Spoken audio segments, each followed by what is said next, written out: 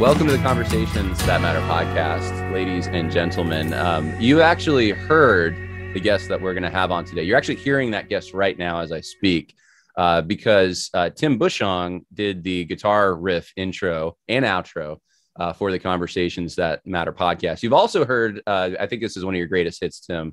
Uh, the dividing line. Uh, wh- what is it called? Radio Free Geneva. You, you do the Yeah. intro. Those are your Yeah. golden pipes singing uh, the great reformer uh, Martin Luther song, uh, "A Mighty Fortress." So, um, welcome, welcome to the podcast that you've been uh, playing on for now over almost a year. How does it feel to actually be on a podcast that that you play guitar for? Oh, this is the best. And I want to ask you, how does it feel to be uh, talking virtually in a room that you've actually physically sat in? So there. The, wow, yeah, very Been in this meta. Um, yeah, I was, and actually, there's a recording studio right behind you that people can kind of see, and uh, it's where There it all the, the magic happens. Um, I know, so we're Christians, not magic. All the miracles happen. Uh, Well, God's providential. we're not we're not. Pentecostals, right? It's the prov- you're right, right. His sovereignty carries out in that room. Sovereign plan. There we uh, go. Anyway, uh, just introduce people to you and what you're doing.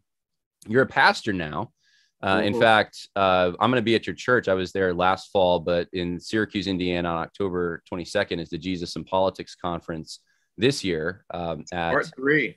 Yeah. part part three yeah uh, at syracuse baptist church and um and so you you live uh, close to there i know i've, I've been at your house and and uh, we broke bread together uh, Yeah. but you're you you weren't always a pastor you were uh you, you were a christian rocker and you were part of the band love war uh, some people might remember that and, and know that band um, and then the channel surfers and then you've done some solo projects as well that i have uh, christmas and hymns and um, so uh, why don't you just introduce us a little bit to talk about that uh, that transition? Uh, you know, your your rocker days, and then going from that to be a pastor. Uh, did did you have to settle it down a little bit, or were you able to keep that intensity in the pulpit?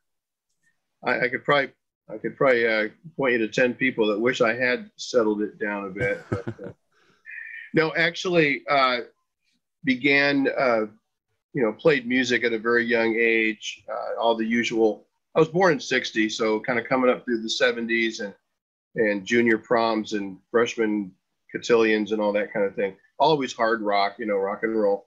And um, I I've been raised in the church, and I am just I- can't tell you how grateful I am for my church upbringing. But during those days, I just I thought it was kind of irrelevant. Watch your p's and q's and Sunday morning, and then the rest of the week really isn't spiritual. And you know, you know, go go have some fun, go be adventurous, and uh, it's kind of what I did. Um, and so I was in music. Got married in '83. You met my wife, and she's the best rock and roll wife a guy could ever ask for. And in '87, I I finally had just had it. I repented, truly gave my life to Christ. Uh, whether that was a, you know, that that was it, or just me being like Jonah, saying, "All right, I give up, Lord," with probably a combination of both. So I kind of put music down. I thought that was my thing. Let's let's get into the Word. Let's learn what this faith is that I knew to be true. And then around 90, I started uh, writing again and really started coming up with a bunch of material, you know, a few albums worth. And we began the band Love War. It went through many different incarnations. And uh, we got a record deal with the Elefante brothers on Pachyderm. And uh, a lot of critical acclaim. Uh, people would say, well, thanks for writing stuff that doesn't insult my intelligence. It's can I can play it for my pagan friends and they they get it because it's street cred. Of course, the philosophy there was um, I don't think it's quite where where Voddie Baucham goes with it. You know, the bait and switch. It's Right. more about uh, being able to play skillfully and doing so in any context that exists. We would play nightclubs, bars, uh, youth groups, whatever, and do so in a way that then at the end of the show, when your last song is done, and you pepper pepper the performance with uh, with exhortations and things of that nature. And that way, you, you give the gospel and you give it without any hesitation, no blushing, no apologies. Well, then that bur- band turned Channel Surfers. Um, I'm in my late 30s. We've got three kids, and I was at the same time teaching um, a college class at the church I that we were members of. and it just got to the point where okay, my my kids need their dad at home. I, I basically live a truck driver schedule, um, so I decided to get off the road, and uh, that's when I transferred to what you see behind you, on the other side of the glass, engineering, producing, and recording. And it wasn't until uh, 2005, 2006, where we uh, planted a church. Some families from that same church, and and we did it in such a way with their their blessing, and we're still dear friends with the pastors there. And that's when I was ordained. The men of the church approached me. Would you consider being our first elder? Yes. And and so kind of went through an examination. And I was already in charge of the church music. So it's kind of interesting how, you know, people would assume Tim Bushong, they think, you know, the Mighty Fortress, you're that guy. I would get recognized on planes for Love War, and now I get recognized in an elevator. Oh my goodness, you're uh, you're yeah. the mighty fortress guy. People might be hearing a little, uh, you know, sound bites in the background. So because I'm on YouTube as you're talking, looking for Love oh. War, uh, and I found. So is it all on on the Tim Bushong YouTube channel? Is that where? You know, it's it's not. When when I got oh. my DistroKid account, they just put the new. Actually, it's all on Spotify. Oh. So if you look on Spotify, you haven't taken you your music off Spotify yet. You, yeah. Well, I don't think I'm making a big enough splash. You know. No, you get CNN at your house if you if you did say we're gonna take our Love Wars music off because Joe Rogan or you know something That's like that. Right. You, you, may get a revival. Uh, so, all right. So Spotify is where we where stand with you, brother. Yeah, yeah, right. You and Neil Young. Um. Yep. So uh, uh, so so that's i mean that's interesting so i mean not i don't know a lot of christian rockers who kind of made that transition uh, to being a pastor and um, there seems to be now I'm, I'm not huge in the christian rock scene but the, the, the ones that i know even even like, like the solid uh, ones like I, am thinking of um, oh uh, what's the really popular uh Striper Stryper right Stryper yeah yeah i mean I, I i know a guy who who worked with them pretty closely and yeah. Uh, you know, a lot of these bands, I'm not trying to pick on anyone in particular, but Stryper's the one that's come just popping out in my mind because I have a friend who worked with them. They there's there's the onstage kind of persona, there's the music, there's there's the throwing out the Bibles and all this, but then there there there is a connection to the corporate world, is the the record labels and it's inescapable. And, right. And, and, that is a huge uh, pitfall, temptation. Um, just uh, the worldliness, right? Worldliness. So, uh, yeah. what you know, it, what's it like out there? You you've rubbed shoulders with um, with with a lot of the bands that uh, at least in the '90s were popular. Is I mean, is it like a, strain on one's soul to get involved in even Christian uh, rock music or or contemporary Christian music? John, that's that's a great question, and let me say it this way if you see something in uh, christian music that's kind of disturbing or you know seems off kilter well you could probably find the same corollary behind the pulpit almost anywhere. The problem is when when you're going to be committed to a band uh, it's not just you anymore it's these three or four other guys and you've got to tour. There's there's no question about it. You have to hit the road. And if you're married and you got kids, it's going to be a lot harder. I know, I'm thinking of two particular guys that I had great respect for back in the 90s as music uh, musicians who put out excellent material and who are both now in conservative uh, pastoral ministry. Frank Hart from Atomic Opera, now he's a Missouri Synod Lutheran and uh, Chris Neiswanger from the band Precious Death. He's a Presbyterian pastor down uh, just south of Memphis.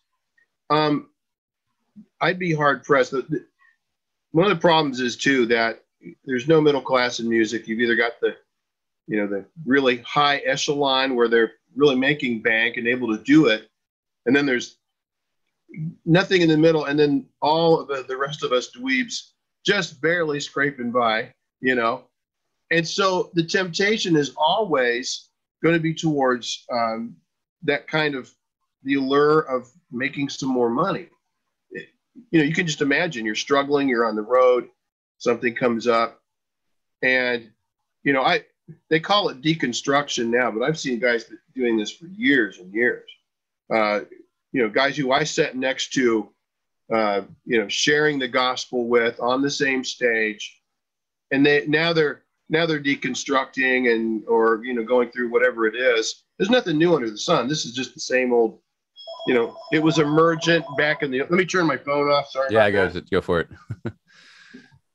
yeah, the, the, and, uh, you know, the emergent church that went through the same kind of thing, no. and it, and it's weird when you're at the same time you're talking about like art artsy people, you know, just be creative. As long as you're saying something, that's the important part.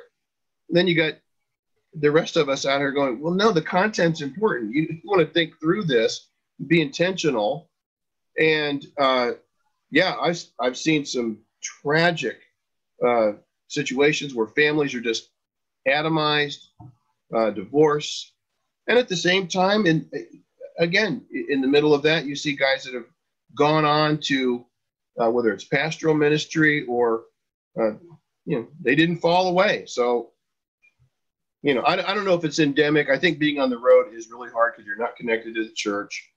That's a big problem. Right. Yeah, yeah, there's no accountability there. You can kind of get away with things as you're staying in hotels or other places. Um, By the way, let me let me yeah. say something about Stryper because sometimes they get a a uh, you know, you're like, well, you know, this 80s metal. I I met and got to know Michael Sweet a little when we were we were mixing the first Love War record. He was recording his first solo record. This is in the same studio in LA. And he told me with, without any hesitation that they had really gotten off the beam on, I think it was a particular record in 91 or whatever, I can't remember. But says, yeah, I mean, we thought, hey, let's go for the brass ring on this. And it, and it almost blew up their band and a Bunch of Marriages. Now, Oof. thank God that didn't happen, you know. But yeah. I thought that was interesting. He's he's like willing to say, no, that was that was a huge mistake. We we almost ruined our lives trying to pursue something that was just ungodly. Yeah. So kudos what, to I mean, what advice would you have for uh, people to a young person today who wants to get involved with uh, Christian contemporary music? You know, I, I'll be honest. I've been out of that scene for man now it's 22 years I, I got off the road in late 99 really didn't have much interaction i don't even know what's going on out there yeah. but beyond you didn't watch the, the super bowl either so yeah yeah i guess did I. I didn't i didn't own that stuff in the 90s so i'm probably not going to be interested in it now but um, no so back to the back to that issue um, advice would be first of all, music is like anything else. It's it's got these basic structures and tools and everything, and practice, get really good. But the but the main thing is if you're gonna you're gonna really try it, you're gonna be subject to the producers and to the executives of the record companies. And if you really want to be an artist, forget all that. We got the internet now. Be an independent artist. Put your own stuff out there and stay connected to your local church. Make mm. sure that your your pastors, your oh, the, the, members of the church, the people that grew up watching you as snot-nosed little kid fall fall down. Now you're a teenager and you want to be a rock star.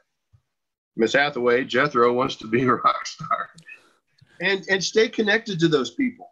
You know, they know you, they love you. They may not understand kind of your musical tastes. I get it. I, I, I like stuff that most of the people in my church are like, that's Pastor Tim. He, he likes the middle. yeah. You know, and that's okay.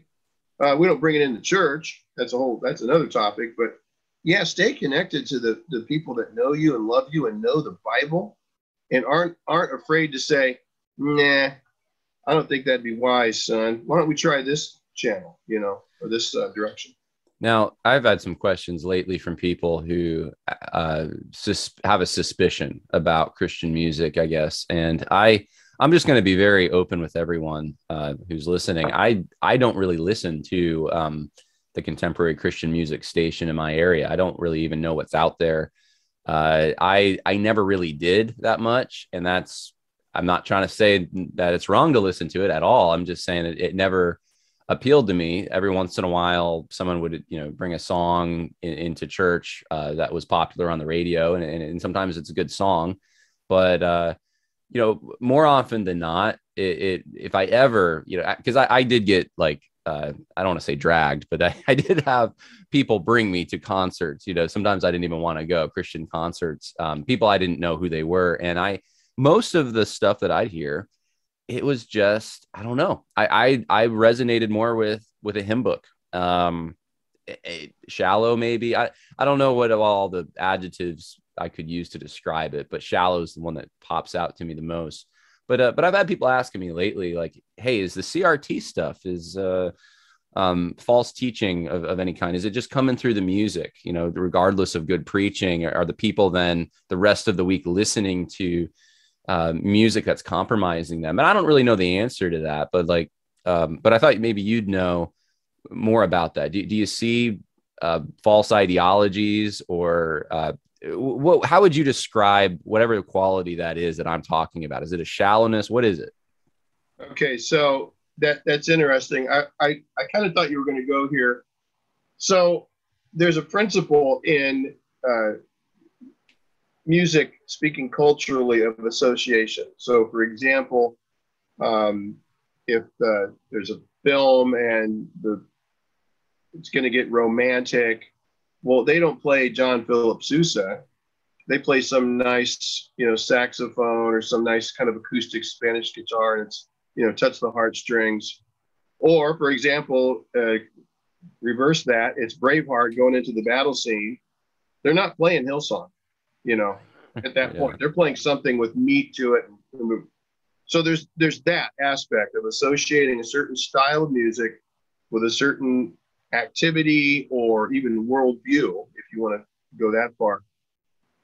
So associate now, try without without making the guilt by association leap, you can see that the church groups, or if you want to call them the denominations or, or whatever the, the movement is, um, watch how they worship in public.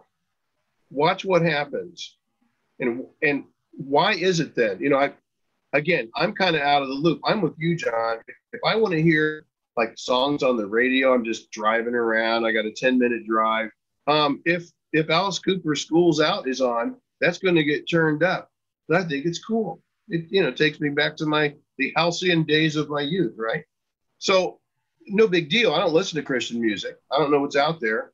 I really appreciate what John Cooper's doing in Skillet. He's still flying the flag and you know standing for truth. But just watch watch what happens when the preaching is over and now we're going to worship and everybody kind of goes in this left right weird mode and the song comes on there's long instrumental interludes. Those are the churches that are going whoa in in the main again we're being stereotypical here you don't want to you know put everybody in the same basket. But why is that? Why why are they the ones with with uh, you know, paid hired staff for all of the, you know, the litany of social justice causes, they're not singing out of the Trinity hymn book. They're not taking their cues even from sovereign grace music, although some in in our circles might. But it's more about just getting that emotional buzz, setting the stage. I was talking to my my nephew who wants to get into apologetics. I said, watch what watch what happens.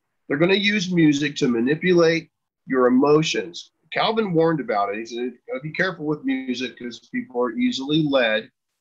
And back in my charismatic days, we understood it completely. You want to provide a what we call it a seed bed for those uh, those sign gifts to grow, and you do that by it's like creating an atmosphere, and you do it with music. Again, you go to these big churches, and when the when the time for music comes, all the lights get lowered. Hmm. And they're creating an atmosphere. Look, I understand that for, for rock and roll and, and concerts and whatnot, you know, it's all about the moment and the visceral response. And, you know, as long as there's 15 year old kids, there's going to be some kind of music that their parents hate. That's just life, right? But in church, I don't I don't get it because the now we're talking about a worship service that has turned into some kind of entertainment. Some somebody's getting a buzz out of this. And I'll be honest, when we're singing at our church, which basically it's four hymns a Sunday out of a hymn book or the auxiliary hymn book as we call it. Um, I'll look out because I'm leading the worship with an acoustic guitar. We've got piano, organ, bass guitar, and acoustic guitar. And I will I will look and see people genuinely moved by the music and by the lyrics.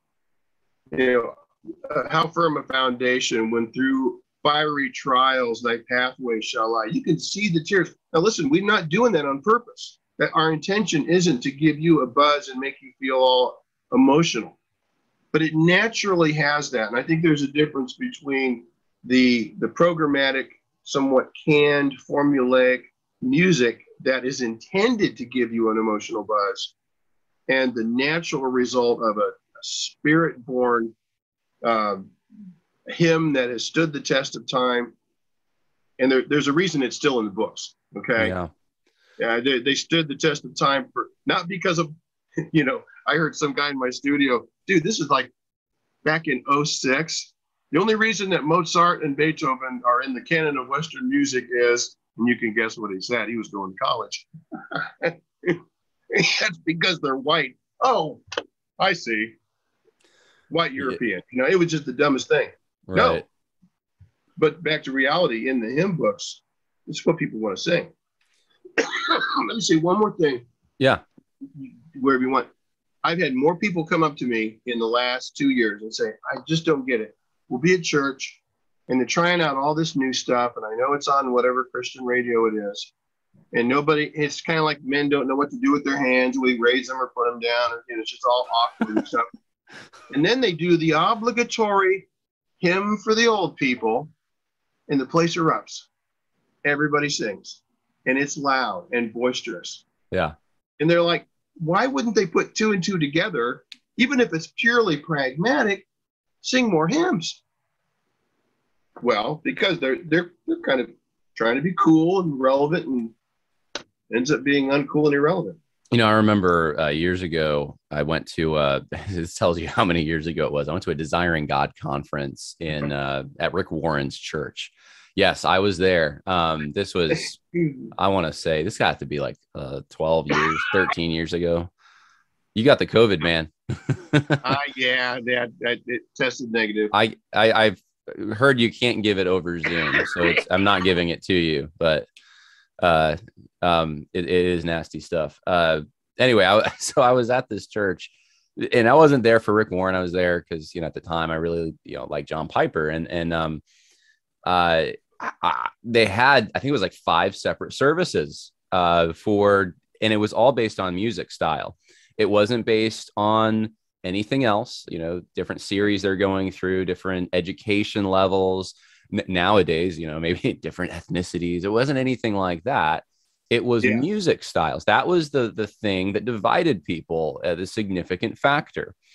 I thought that was fascinating. Uh, and it was like five different ones. Was, I was like, wow, you can, you know, pretty much any style you want. You just go to the service and it, will have the same message, but a different music. And, yeah. and it shows you how important music style is to people that, that this is a definitional identity thing. And, and especially in California, people, you know, out there, they don't even ask you what genre. They just, well, yeah, what band do you like? Right. And you like, mer- you, your whole life is formed around this band or something. Uh, and uh, and so um, I I just I thought that was a fascinating thing because uh, it shows the power that music has, and it is something people they gravitate towards certain styles for certain reasons. And so when when you have a church like you just described, uh, decide you know as one worship uh, music leader told me once, you know we're gonna we're gonna have a special service for the older people and bring out some of the hymns, but I'm to change everything and we're to go all contemporary. Um, it's it is a fundamental. There's a fundamental transformation going on, and and it, it, because it's art, I think sometimes it, it's hard to quantify it or understand exactly what's happening, but something is happening in that. And um and so I, you know what I hear you saying is that the the social justice isn't necessarily coming in through music, but there is a it, it, it's it's an association that that the people who would be susceptible to social justice they're going to like they're going to be more inclined to enjoy certain styles um, and, and, those styles tend to be more uh, you know i was using the word shallow but maybe is it man-centered? Is that a good word to use? What do you think? Well possibly. You know we you could make the argument that as long as the lyrics are sound the music doesn't matter. You know that that's an kind it's kind of an old and i'll call it a canard because i don't quite agree. Again going back to the appropriate association that's actually teleological that's the appropriate uh, like Schaeffer talked about the little humpback Ro- Roman bridges in Switzerland. They were fine for carrying a you know a legion of soldiers because they don't weigh that much, but a modern two-ton truck would just break it. So there are certain seems to be certain musical styles that are uh, more fitting for certain lyrical accounts or uh, you know lyric content. Um, and so whether whether or not there's explicit you know you might you might find a song or two there that talks about our, our church needs to look like heaven and you know they're going with the uh, all nations. It, it's pretty you know it's pretty hard to do that in finland you know. You guys need to look more like uh, zimbabwe well it's know? hard it's, it's hard to do that in indiana. Yeah how about it? I mean and really you can drive you can drive 25 minutes from my house and there's going to be many more people from Hispanic descent. Okay, that church is going to look different. I don't I don't feel that I should obligate anyone that lives 25 minutes or half hour away. We're talking about the country. You know, people in the city are like, yeah, big deal, 20 minute drive.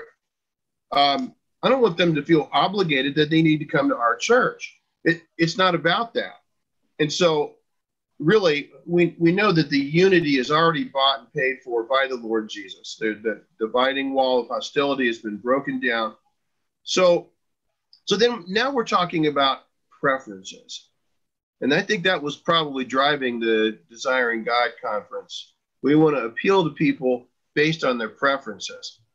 Now, if, you, if you've been paying attention, you know that always gets turned back around on the old uh, hymn people. You know, well, you need to sacrifice your preferences so we can bring in this other stuff. Uh, I'll just mention the worship band at this year's SBC conference. I, I was like, guys, really? This is necessary? You, you think this is good? Nobody sang along until the hymns came. Even with that setting, it was like, that's just weird, you know? Um, so, yeah, I, I think that there's a certain kind of youth culture that as Churchill said, if you're if you're not liberal at 20, you're heartless. If you're not conservative by 40, you're brainless. There's something to that. He, he's not far off. What do you think now, drives? Thank, thank yeah, sorry, no, sorry, I, I, cut you off a little bit there. You can fin- finish your sentence there.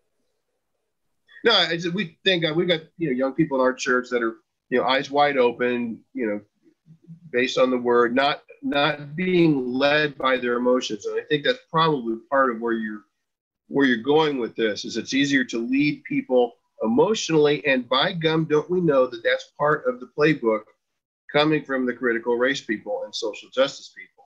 It's yeah. not about logic and facts. It's about how that person's feeling and how they were triggered and that uh, that kind of plays in there john yeah, that no, that makes perfect sense to me, and I think that's what people are sensing when when they ask me the, about this. You know, hey, is it coming yeah. through the music? It's not in the preaching, maybe, but is it coming through the music? And I'm like, I don't know. I mean, I, what kind of music are you listening to? Oh, there's no lyrics yeah. that seem like they're they're not talking about white privilege, but um, but yeah, right. okay, I can see how if you if you have a bunch of people that are uh, just very open and, and to to any you, know, you get open, you get numb, I guess, uh, when you when you have certain styles uh, I, I wanted to ask you. So I, I remember this is during the 500th anniversary of the Reformation. I was in Wake Forest, North Carolina, going to seminary at Southeastern, and we were still looking for a church. And we, you know, every Sunday I got to hear a new rendition of a Mighty Fortress, right?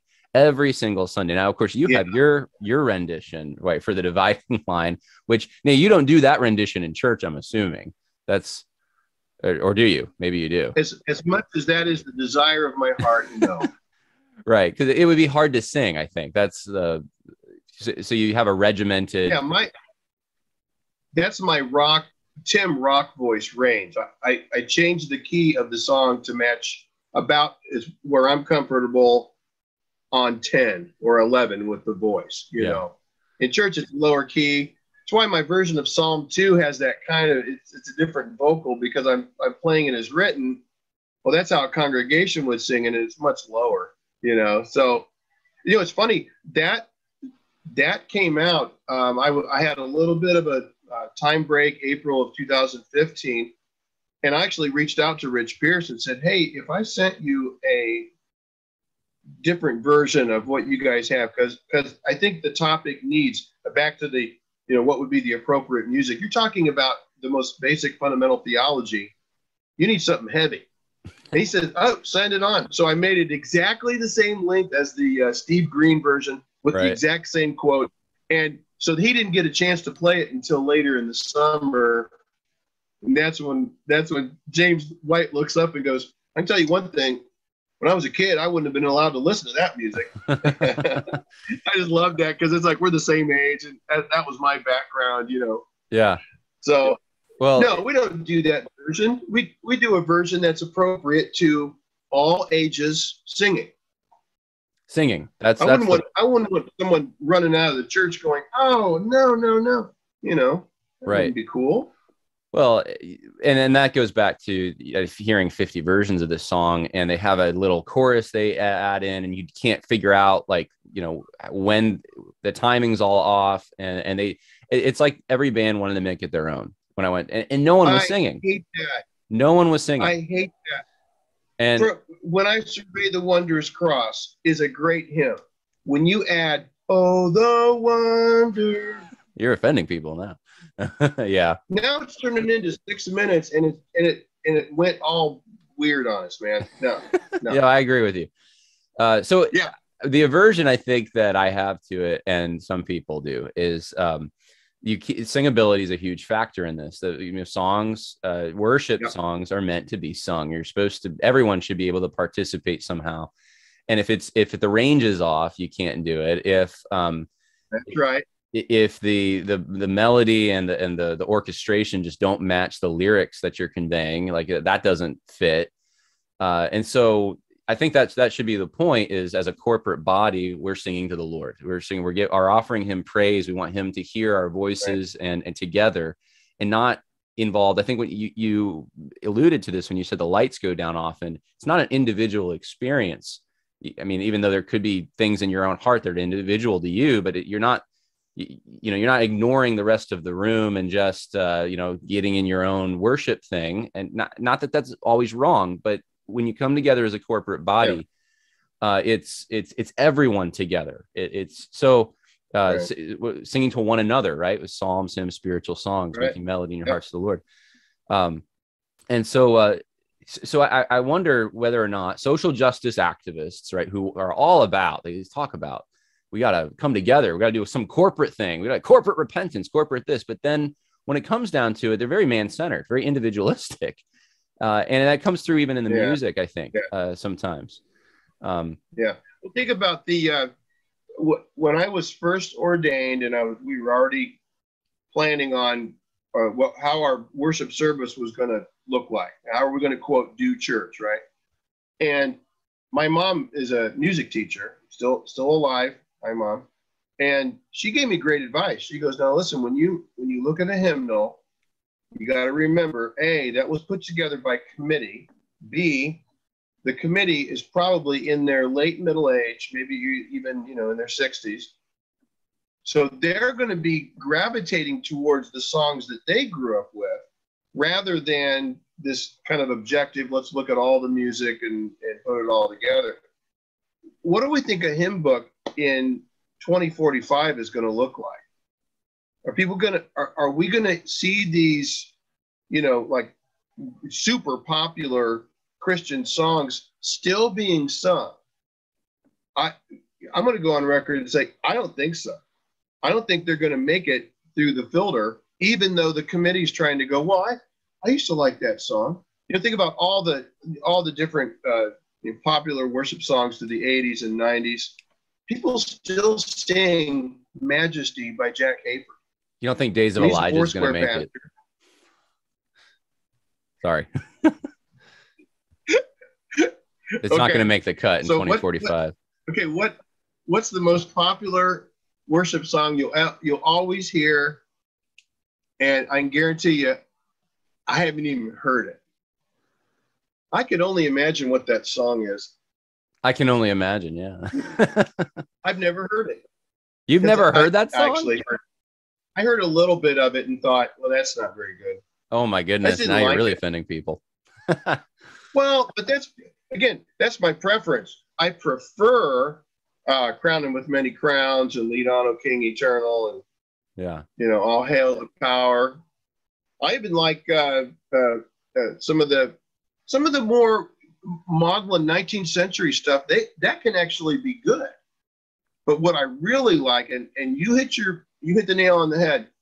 This is supposed to be sung by a group of people all together.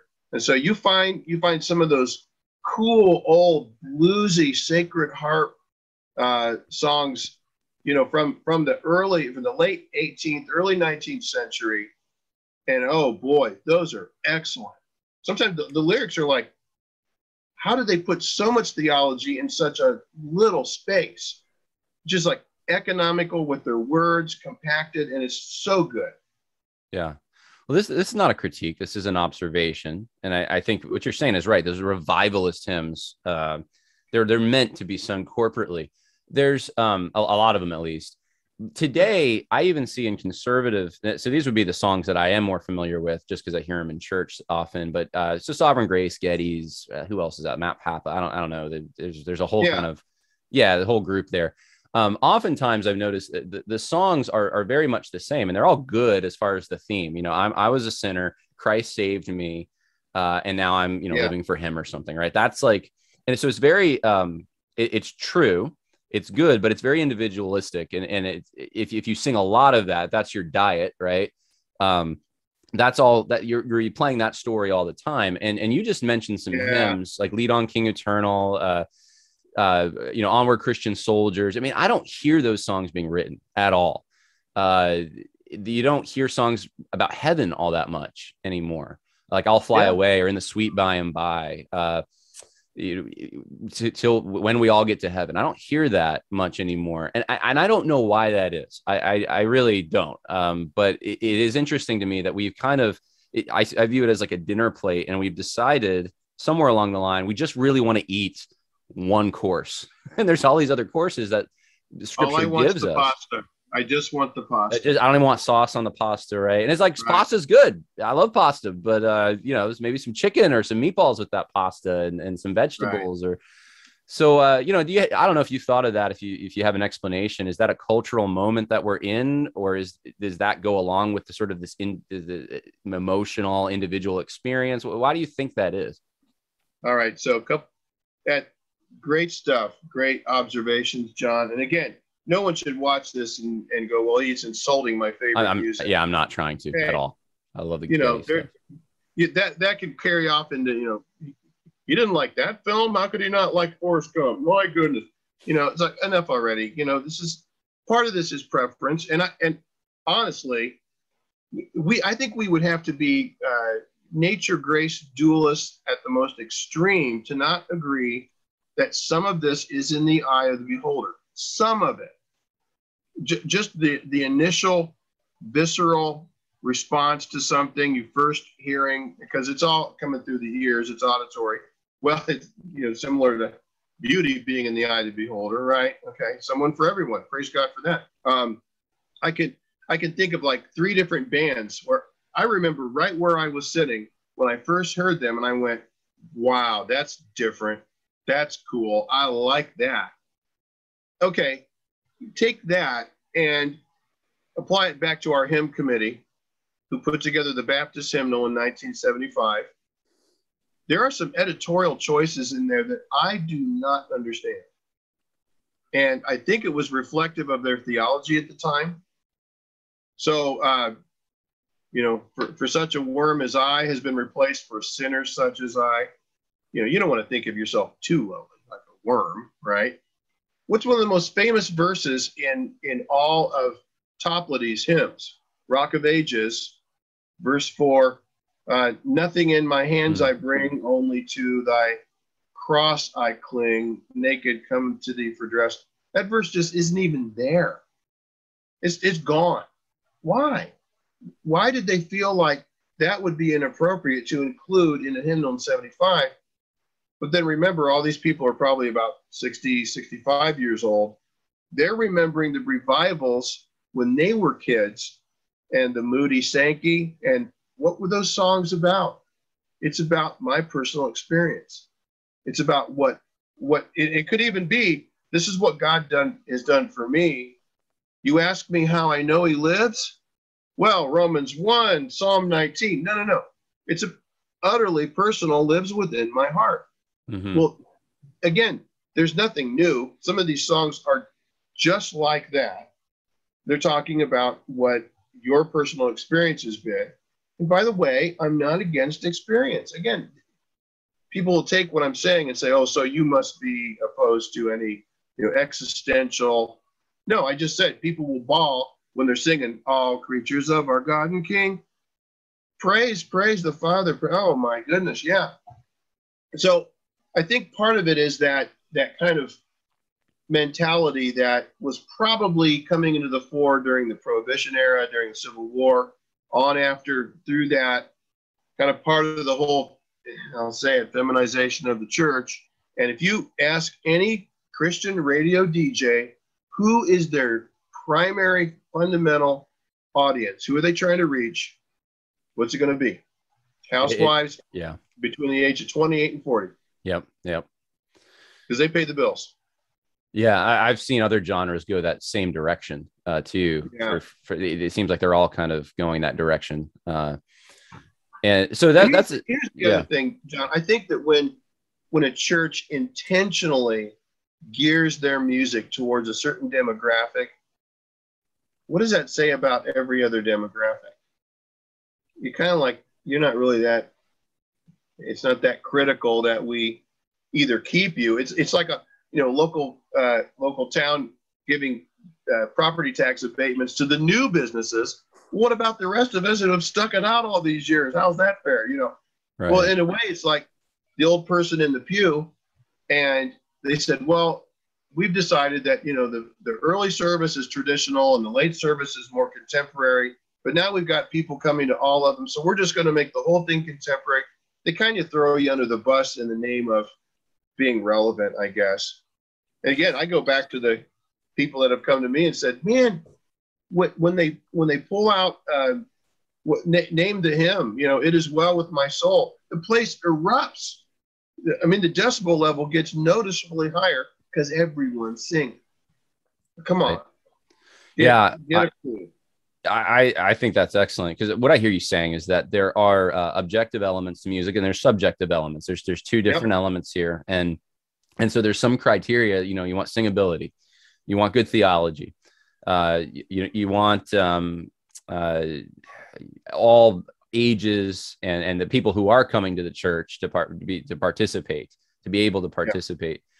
Yep. Um, you, you know the, these are some, some like essential elements that you, and we'll find that in, in, in scripture i think as well we're going to find uh, that it's it's all people coming together one voice to the lord. You see this even in, in the example of ancient israel. Yeah. Uh, and and then there's a, these subjective elements um, and, and maybe one more objective. I don't i don't even know. This is kind of on that that that border of whether it's objective or subjective because there's elements to to this that are both but you, you want the mode to match the message, right? Uh, and, and so yeah. all, all of that, that's kind of a given. Um, and and then the the subjective elements would just be like, you know, what style do you do you really like to listen to? It instrumentation sounds good. Uh, the some to some extent perhaps the decibel level you know as long as it's not hurting your ears you know some people like it louder some people like it softer uh, and, and those things we can probably have just grace with one another. I'd think we can just, yeah. I mean, mm-hmm. I'm not big into that song, but look, I can sing it. You can sing it. Like let's let's worship together, and, and that's fine yeah. if, if, it's not yeah. my favorite. You um, know, people would assume because I did a lot of touring in '97, especially '97, '98, '99. I was on the road before and all that, but so I would always make it a point to uh, drive through the night Saturday so I could be at church with my family. Mm. And there were times where you know, I'm I'm outside the band van at seven in the morning shaving, doing the uh, the road shower, and I would just drive to the church, and my wife and kids would meet me there, and we'd worship together. You know, everybody had this assumption that since I like edge, edgier, funkier, heavier, harder music, that that's what I would really like in church. Mm. And it's polar opposite. I mean, last year at the uh, the founders conference, all they had was Bob Kauflin with a piano, and this is at uh, Mc, not McLean, but it's the it's the big church where they're having anyway. Big room, huge. They could they could have had a huge band up there. It would have been fine, whatever. But it was just him and a piano, and of course Bob is very experienced. He knows what he's doing. He and I think he's just a godly man. Some of his songs are really good. Uh, but boy, oh boy, let me tell you, when it got to Christ the sure and steady anchor, I was blubbering like a baby. Now, it hmm. didn't take lowering the lights or the perfect guitar hits or any of that stuff. All it is, is I'm thinking, second verse, deeper still goes the anchor. I could thank you, God, right? Mm. Same thing. Um, you know, one guy with an acoustic guitar can do just fine. You don't need all the bells and whistles and hopefully, again, like you mentioned, singability. It seems to be okay. Can, can everyone kind of join in this? I understand they're going to be more difficult songs for all the saints who from their labors. Great, whatever. But but after you sing it about three times, you know it. Yeah. And little kids know it. I, I absolutely love it. At, at the end of the service, we we all raise our hands in the air and we either sing the doxology or the Gloria Patri. And there's a number of larger families, and their kids are like full volume, not mm. on pitch. And it's glorious. All those notes being sanctified by the Spirit of God to his throne, and it's beautiful without any instrumentation. Yeah, uh, worship is is something that uh, takes place whether i mean it's something the spirit does right so yeah um it, absolutely yeah. Um, you know, here's you ever you remember Cornerstone Festival? You old enough for that to be a thing? I, I, I don't no, I don't remember okay. that. Sorry. so in the in the 80s and, and, through the 90s, that was the play. If you're a Christian rock band, you got to play Cornerstone, and it's it's the best. Glenn Kaiser had a musicians music musicians and ministry course that he would go through one year he brought in Dr. Harold Best, who was the professor of music at Wheaton. Now, this is 88, so Wheaton's not woke yet. Great. Anyway, he made he made the outstanding assumption uh, statement that if we were relying on certain music styles in order to be able to worship, we were idolaters. Mm. Now I was just a young Christian at the time. Now and I was like, "Oh, I see what he means." Because that that makes a thing on the same level as the Spirit of God. That's taking uh. the thing because because you got a room full of these you know long hair wannabe Christian rock guys, and he's saying y'all are squares. You don't even sing hymns anymore. You're you're squares. And it, there's one more thing I'll relate, and then wh- wherever you want to go. But yeah, years ago I had an old buddy of mine, really sharp theologically, you know, spot on, reads reads all the big books, you know, so he came and visited the church. And after the worship service, he was walking around with this weird, kind of dumbfounded, glazed over expression like, haba, haba, haba. I said, Hey, it was so good to see you. You know, I know you had to make a little drive. And he looked up at me and says, I can't believe it. I'm the traditionalist. I'm the one stuck in a rut. Because all he had experienced for 20 years is, you know, thumping rock band, 25 minutes, slower song, lower the lights, and then and then we got to hear a sermon. It was so funny. I was like, yeah, I know, I know, it's cool. I'm funny. the traditionalist. Uh, I want I want to read uh, that, that is funny. I want to read some some verses just for everyone uh, on this topic. This isn't necessarily exhaustive, but uh, Colossians three says, "Let the word of Christ dwell in you richly, teaching and admonishing one another in all wisdom, singing psalms, hymns, spiritual songs with thankfulness in your hearts to God." Uh, so it is commanded to sing, and and we do have different genres coming out: psalms, hymns, spiritual songs. Um, there is supposed to be wisdom in this, right? So there there's you know that that's where you're not letting the 20 uh, year old um, punk rock star pick out all the songs that you do, right? Because he's the hip cool guy. You, you, know, there's wisdom in this. There's there's a congregational uh, element, and elders should have some oversight in, in a church. Um, and neither do you let the 61 year old right, right, choose a right. bunch of old hard rock songs. Right. No, That's yeah, you don't way, you don't let right? that happen either. yeah. Yeah.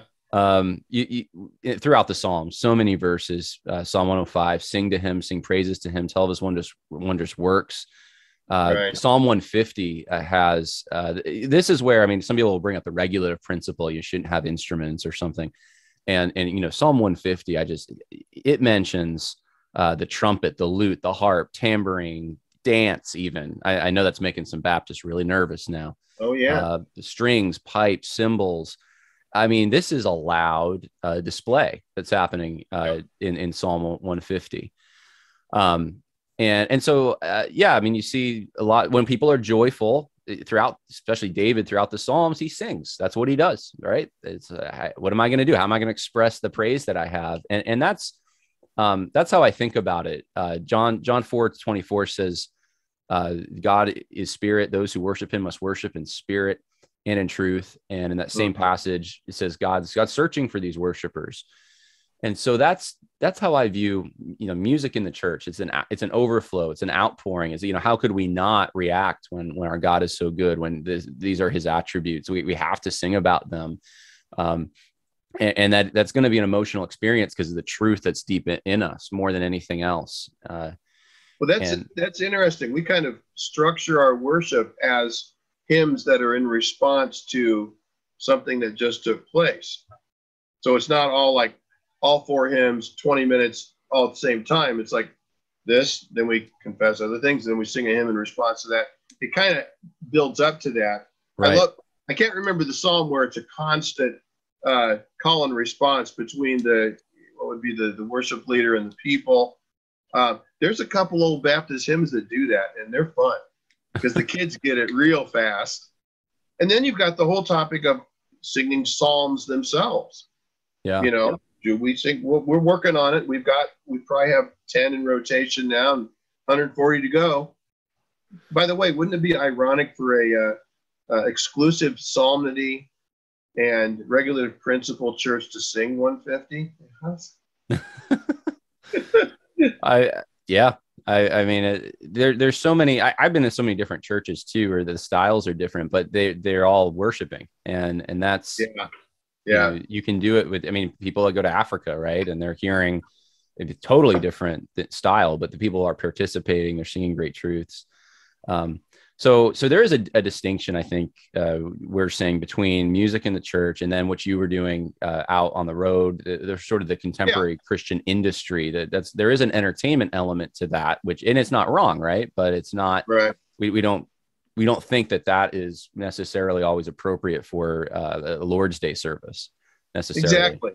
Exactly. That's um, in our in our catechism well we we just went to using wine in communion. And even in our confession of faith, it talks about how the, the minister um, you know, distributes, it sets them apart from normal lunch. You know, the bread and wine, the Lord's Supper. This isn't just, you know, breakfast. It's different. I think that's the same thing. It is the Lord's service. It's His, right? And and in in view of the the goal to have everyone feel like they're involved and uh, not just welcome, you know, because that's sometimes the argument. How are you going to welcome the biker if you don't play Born to Be Wild? That's kind of silly. No one would have thought of that in the first century. You know? Right, right. How, how is that gladiator going to feel at home unless you do those? Man, uh, yeah. these kind of performance, you know, mode. Um, but all, all of that is right on, Jon. I mean, think about we want we want people to sing together want it to kind of flow naturally, even even if it's a challenging song. That's cool. Uh, practice it, learn it, and and just let God do what God does. I think we've experienced, you know, our growth in our local church just by saying, God, you do what you do, and we want to be faithful to you. And again, if, if we had a drum kit, we would have a full rock band. We just haven't found anyone that's good enough yet. Well, well, a little story for you. Um, I remember my dad's a pastor, so I remember when I was Yeah. in youth group, right? I've seen more battles over music than almost anything else, and uh, and and I would say for the last uh, I don't know twenty or fifteen years, there really haven't been problems in the music ministry. But uh, but before that, when I was in my more early teens, uh, there there was a guy I remember who really wanted to bring in punk rock, right? Put the graffiti on the trash cans, put them on top of the baptismal, get the smoke machines out. Let's really, yeah, Yeah. right. And and Little, and little baby mohawks, you know. actually, I think maybe one of them did have a mohawk. So, um, and and so we're gonna, you know, we're do some punk rock here, and um, and we're gonna get the kids in that way, right? That's the way to do it. And it, it was Right. more of a youth group type activity.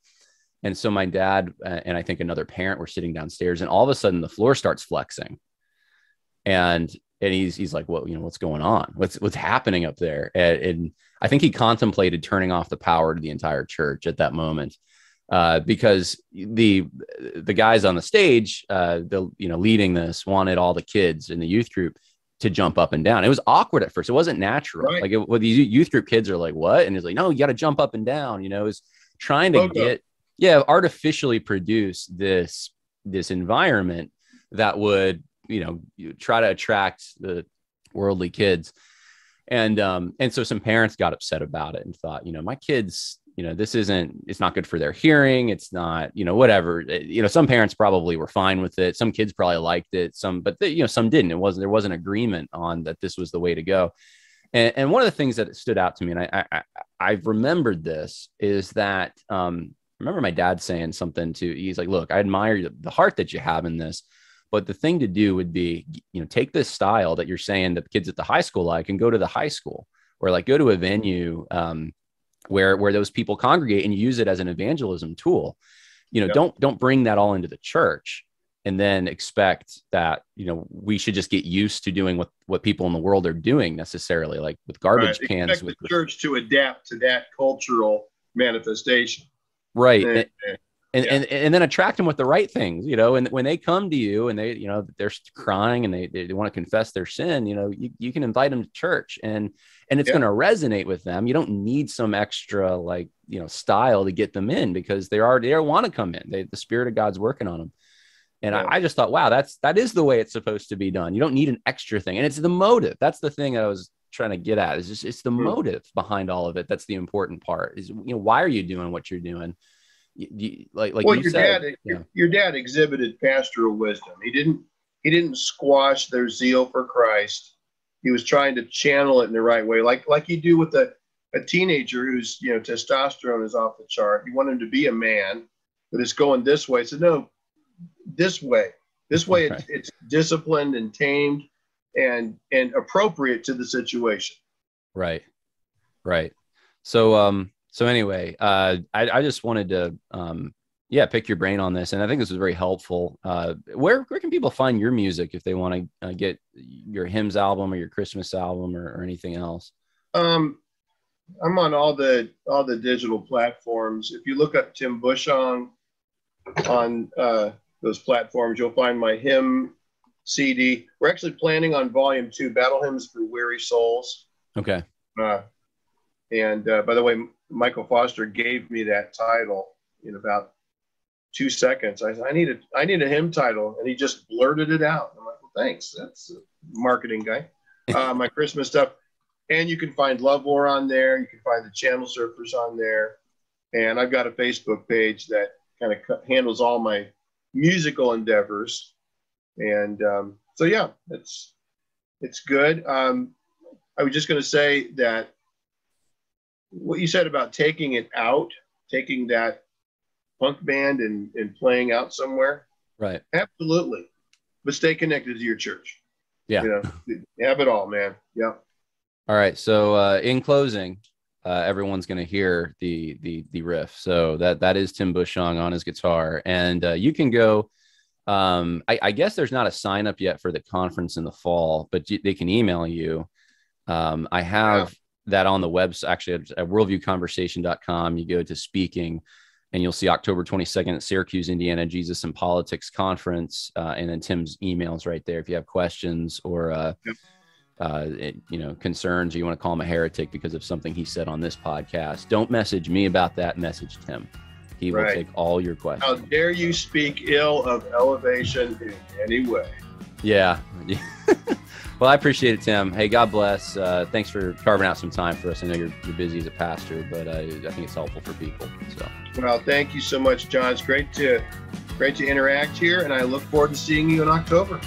All right. Get around the campfire again, buddy. Oh yes, yeah. Looking forward to it. All right. God bless. Bye now. All right. Thanks.